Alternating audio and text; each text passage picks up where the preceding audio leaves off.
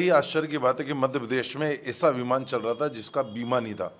और जब वो दुर्घटनाग्रस्त होता है ग्वालियर में, तब पता चलता है कि उसका बीमा नहीं है। बगैर बीमे के विमान का उड़ना एक बड़ा गैर जिम्मेदार ना आचरण था। इसके दोषियों पर कार्रवाई होना थी, क्योंकि प्रदेश की जनता की गाड़ी कमाई के टैक्स के करोड़ों रुपए बर्बाद हुए, क्योंकि अभी तक बीमा नहीं मिला। और जब वो पूरी तरह से क्षतिग्रस्त हो गया, तब नया विमान लेने की तैयारी की जा रही। पग पग वाले पाँव पाँव वाले भैया जो खुद को पाँव पाँव वाले भैया कहते थे, बगैर विमान के चूँकि चल नहीं पाते तो अब फिर पैंसठ करोड़ से ऊपर का विमान खरीदने की तैयारी की जा रही।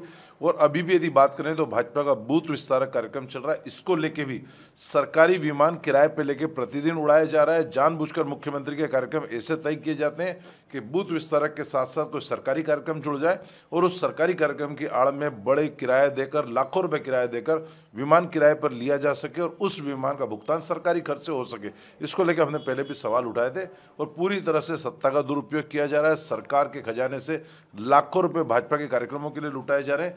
हम सरकार से मांग करते हैं कि वो बताएँ कि कौन कौन सी कंपनी के विमान वर्तमान में किराए पर लिए हुए हैं और भाजपा के कार्यक्रमों में किस मद में उसका भुगतान हो रहा है। ये सारी बातें मुख्यमंत्री और सरकार को स्पष्ट करना चाहिए।